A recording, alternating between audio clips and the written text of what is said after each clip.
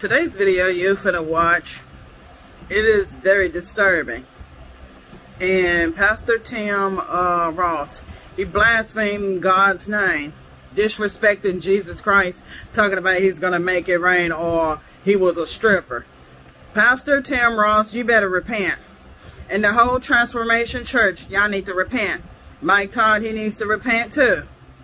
Every last one of you that had y'all part in it in that church, Transformation Church, y'all better repent.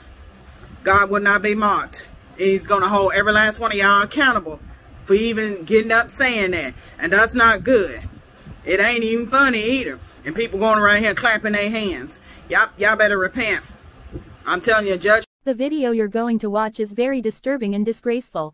I pray that these people in the world will come to repentance. Because we are living in the last days and people think this is a big fat joke. No it's not a joke at all. It's sad and I feel sorry for them who are perishing. He ain't the first one to make it rain. Literally, he's not the first one to make it rain. I could take you to Genesis to prove to you who the first person was that made it rain.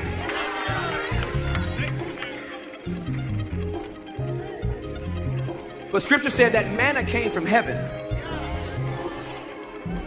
and it was bread to them.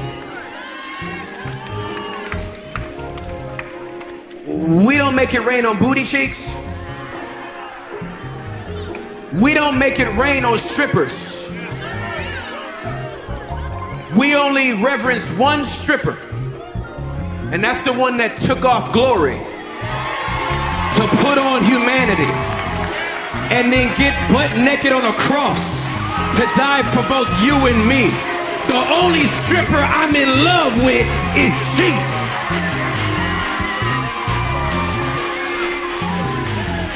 And he's the one that puts that bread in my pocket. That bread in my pocket. I got bread in my pocket. Galatians 6. 7 NKJV Do not be deceived. God is not mocked, for whatever a man sows, that he will also reap. Matthew chapter 7. Verse 15 to 20 NKJV Beware of false prophets, who come to you in sheep's clothing, but inwardly they are ravenous wolves. You will know them by their fruits. Do men gather grapes from thorn bushes or figs from thistles? Even so, every good tree bears good fruit, but a bad tree bears bad fruit. A good tree cannot bear bad fruit, nor can a bad tree bear good fruit.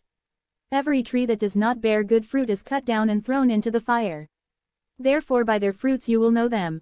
Matthew 12, 31 to 32 NKJV, Therefore I say to you, every sin and blasphemy will be forgiven men, but the blasphemy against the Spirit will not be forgiven men.